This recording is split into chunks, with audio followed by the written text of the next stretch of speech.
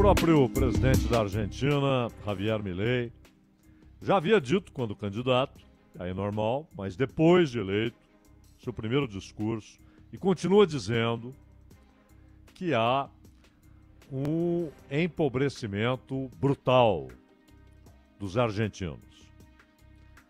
Milley chegou a mencionar milhões de crianças que hoje têm o desafio diário de encontrar comida, dos pais que muitas vezes, quando conseguem alguma coisa, não se alimentam para que haja comida para seus filhos. Há um empobrecimento que no ano passado já era um número impressionante. Quando as estatísticas, os levantamentos, as pesquisas mostravam que 40% dos argentinos estavam na faixa da pobreza, estavam em estado de pobreza. E dentro desse grupo havia um grupo também numeroso, representando 12% da população, e que já estava em situação de miséria. A miséria material acompanhada pela falta de perspectiva. Você olhar o cenário, olhar o horizonte e não enxergar a menor possibilidade de sair da miséria. Agora, o número mais recente. O número mais recente é muito mais impressionante, muito mais trágico. Porque Segundo o Observatório da Pontifícia Universidade Católica Argentina, a taxa de pobreza já atinge 57,4% da população. É obviamente um recorde. E claro, por mais que o número impressione, ele não traduz com fidelidade com exatidão o drama de milhões de argentinos. E o drama que, repito, ele tem a sua a pobreza material acompanhada da desesperança. porque não é uma situação individual ou de um pequeno grupo, circunstancial. Mas é uma realidade que atinge agora mais da metade da população. E no caso dos miseráveis, 15% da população. E considerando o estado de pobreza, 57,4%. Miséria, repito, 15% da população.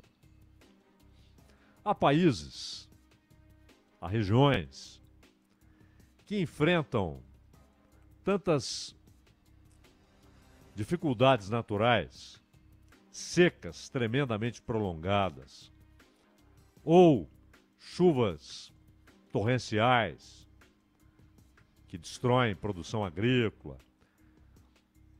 a países afetados por guerras que duram décadas e décadas, ignoradas pelo mundo. Aliás, é interessante como o noticiário, durante meses e meses, ignora o Sudão, por exemplo. O que está acontecendo no Sudão. Mas há países atingidos por secas prolongadíssimas, por guerras, por eventos que não são muitas vezes controláveis, eventos climáticos, não são controláveis pelo homem. A Argentina não.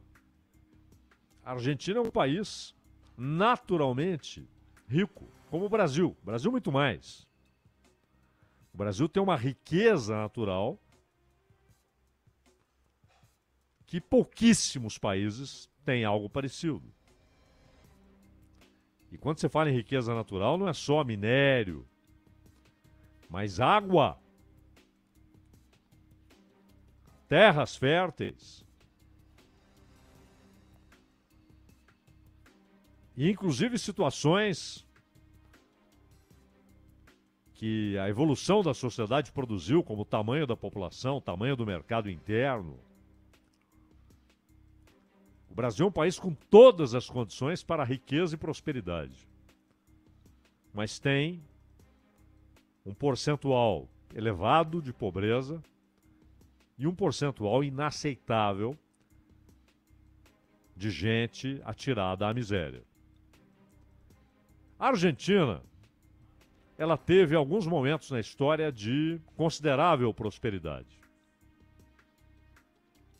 Mas também naqueles momentos começam a ser estabelecidas as condições estruturais que vão produzir a tragédia de hoje. A concentração de renda, ou seja, com quem ficava a riqueza produzida. O quanto os trabalhadores, que obviamente participavam dessa riqueza produzida, que obviamente participavam da produção da riqueza, o quanto era de fato distribuído e alcançava a maior parte da população, toda ela participante da produção da riqueza. Mas uma parte ínfima se apropriando da riqueza produzida, ou de quase toda a riqueza produzida. Isso foi se agravando na medida em que a Argentina perdeu capacidade de produção industrial.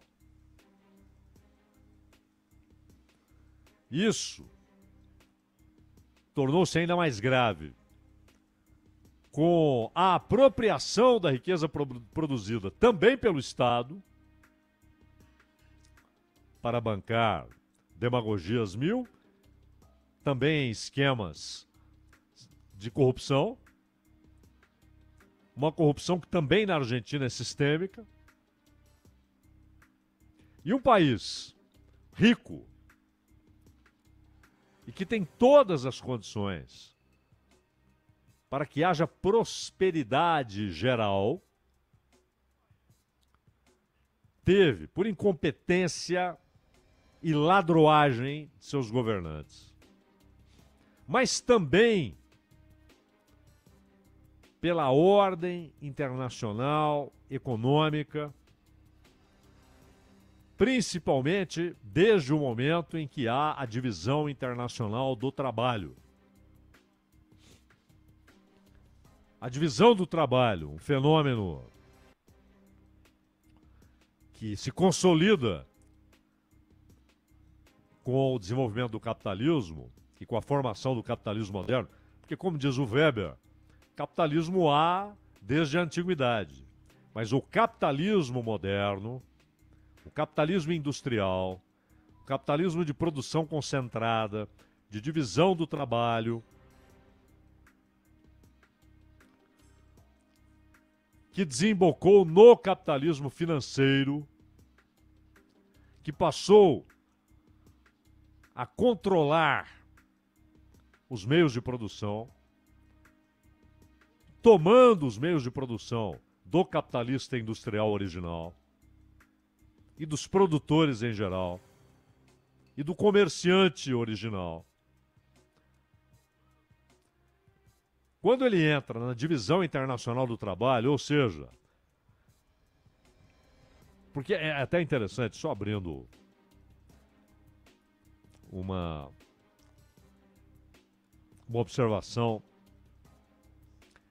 É, muita gente diz que um dos problemas da sociedade socialista, que obviamente você tem como paradigma a União Soviética, é o planejamento excessivo. contrapondo-se a liberdade da iniciativa no capitalismo. Essa liberdade de iniciativa no capitalismo é que desapareceu. Com a formação de trustes, de conglomerados,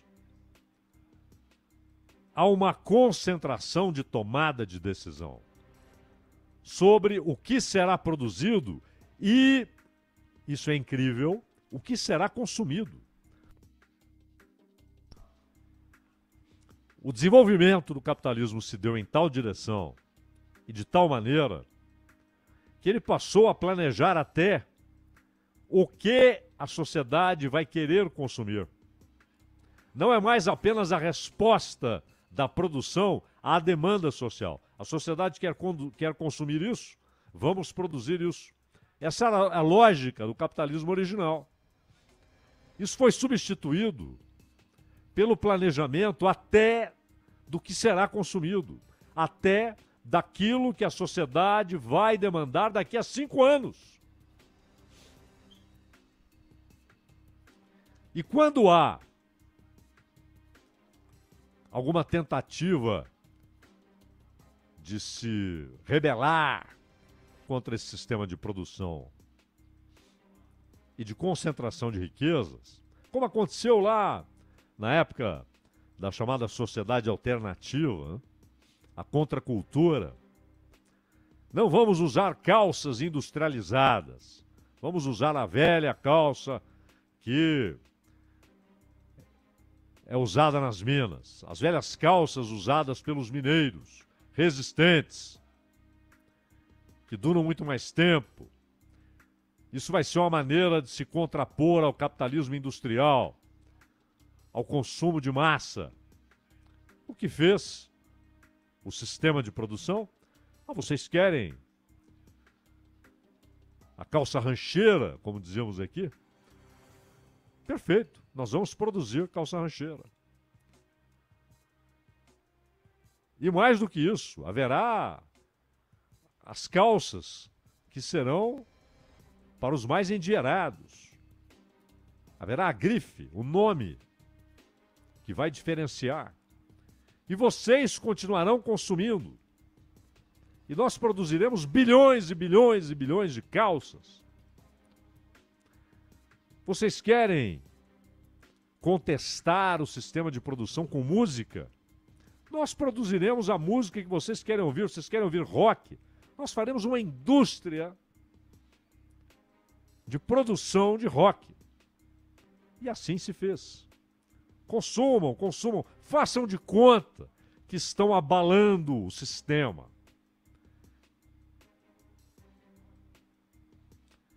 E hoje, muito mais. Hoje você tem inclusive o uso da internet, dos meios eletrônicos, para descobrir o que aquela pessoa quer consumir. Além da indução, que vem por intermédio de parte da indústria cultural, cinema, própria música, que induz determinado tipo de consumo. Então você vê jovens japoneses, sul-coreanos, que querem se vestir como jovens da Califórnia. Por quê? Como se construiu isso? Essa perda de identidade que é terrível, porque isso significa perder independência e, portanto, perder liberdade. Pois bem, esse sistema é altamente planejado, planificado, não atua sem planejamento, projetando anos e anos, inclusive, repito, não só projetando, mas determinando o que a sociedade vai querer consumir. Isso é impressionante. Então, aquele contraponto, o socialismo planeja. O capitalismo tem a liberdade da iniciativa. Tinha. Isso acabou há muito tempo. O que há hoje é planejamento em escala global nas mãos de alguns. E aí vem a divisão internacional do trabalho. Tal coisa deve ser produzida onde é mais barato produzi-la. Na China, na Indonésia, na Índia, no Vietnã. E os outros países serão consumidores e, por sua vez, exportarão aquilo que são aptos, aquilo que conseguem produzir com menos custos do que os demais países. Isso começou a empurrar países ricos, potencialmente ricos, como o Brasil e a Argentina, para a condição restrita de produtores de comida e de minério. Produzam e vendam comida e minério. E comprem produtos com alto valor agregado, produtos industriais e que incorporam alta tecnologia. O Brasil é muito mais diversificado, tem uma economia muito mais diversificada do que a Argentina. O parque industrial brasileiro é muito mais diversificado e, no entanto, nenhum país se desindustrializou, em termos relativos, é claro, nenhum país se desindustrializou mais nos últimos 40 anos do que o Brasil. O Brasil, que havia sido, também em termos relativos, mas da década de 30 à década de 70, final da década de 70, o país que mais cresceu no mundo, em termos relativos. E olha que a população brasileira só se urbaniza majoritariamente dos anos 60 em diante. E o Brasil desenvolve um parque industrial diversificado, rico. A Argentina, menos. A Argentina ainda ficou muito presa ao modelo agrícola anterior e com um controle externo internacional, de capital internacional, sobre grande parte de sua indústria. Quando deixou de ser interessante produzir na Argentina, os caras foram embora. O parque industrial argentino, ele ainda tem relevância, não é um país sem indústrias, ele tem um parque industrial. Mas claro, muito menor do que o brasileiro. Mas ambos e isso aconteceu, inclusive, em países como França e Estados Unidos o desmonte de cinturões industriais. Como resultado dessa divisão internacional do trabalho planejada. Não foi algo que ocorreu em razão dos movimentos naturais da economia, isso tudo foi planejado. Então a Argentina além de conviver com governos corruptos, incompetentes, duas ditaduras no espaço curto de tempo, e a segunda principalmente, além de sanguinária, assassina, a ditadura militar, que teve a maior parte do tempo Videla como presidente,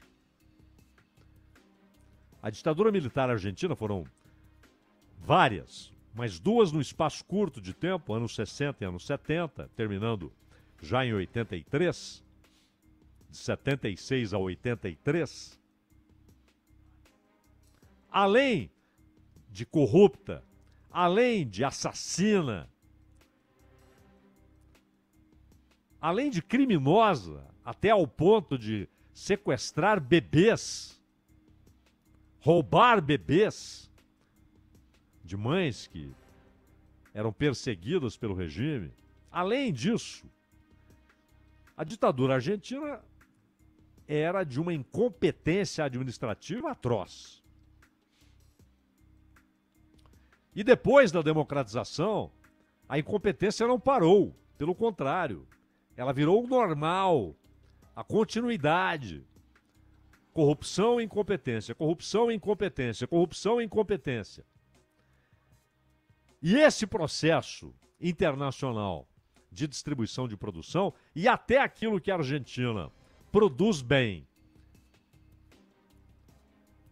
e que pode disputar mercados no mundo inteiro. Comida. Até esse mercado a Argentina perdeu. Além de ter mergulhado em aventuras, aliás, repetidas agora pelo senhor Javier Milei, de taxar exportação. Num país que precisa desesperadamente de dólares. Então há um empobrecimento brutal. 57% dos argentinos estão em estado de pobreza. 15% dos argentinos estão atirados à miséria. Não há menor dúvida que o governo de Alberto Fernandes e antes o governo de Maurício Macri, aliado do Milei, e antes o governo de Cristina Kirchner, todos eles têm uma participação inequívoca na construção dessa tragédia, mas não são as causas principais. Há fatores da estruturação moderna do capitalismo que não são controláveis num país como a Argentina, é óbvio. A Argentina virou uma, a periferia da periferia desse sistema de produção e de consumo.